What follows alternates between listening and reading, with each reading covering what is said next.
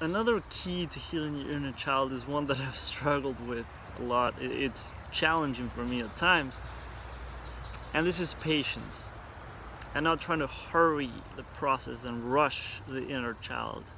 Because think about this there's a child that has unhealed wounds, that's experiencing a lot of pain.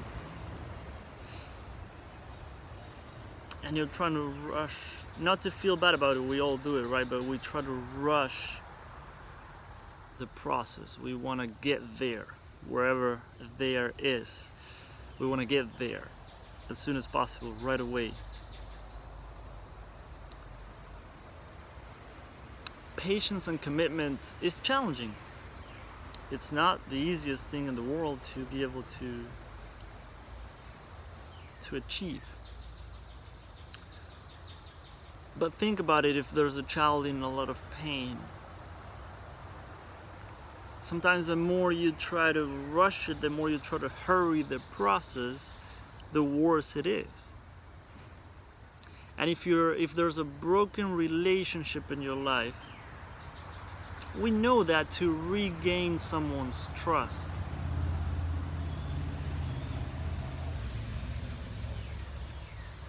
that it, it, it can take a little while. To be able to have a true deep beautiful connection, it takes some time and some effort. And if you're hurrying the inner child, you're sending it the message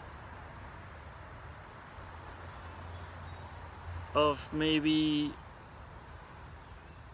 I don't accept you the way you are right now. We need to change quickly, fast. instead of saying let's do this together. I'm here with you. I'm here for you. And there's no rush. You can take as much time as you need to because I know I've ignored you for a very long time and I apologize. I'm really sorry about that so please don't feel like I'm rushing you and if it ever feels that way let me know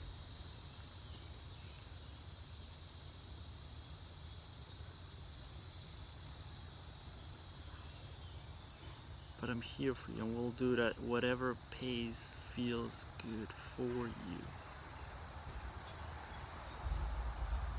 Please show me what you need.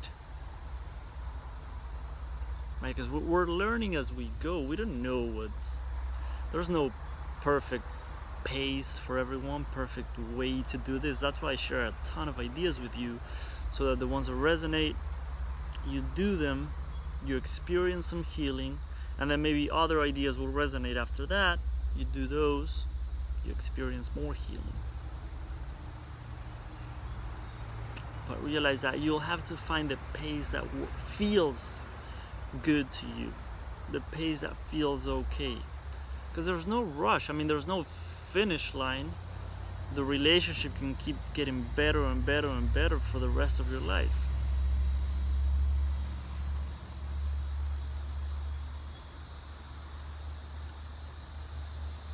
So I invite you to consider the idea that this might be a, a lifelong commitment. You're getting married to married to your inner child. It'll be for the rest of your life. So maybe let's try to not rush the process. Let's try to honor whatever time the inner child needs. Let's try to honor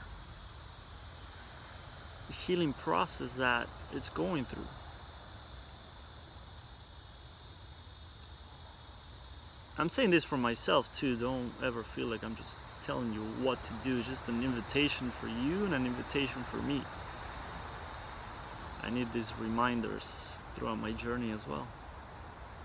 So that's another one of the keys to healing your inner child a lot more coming down here. Love you.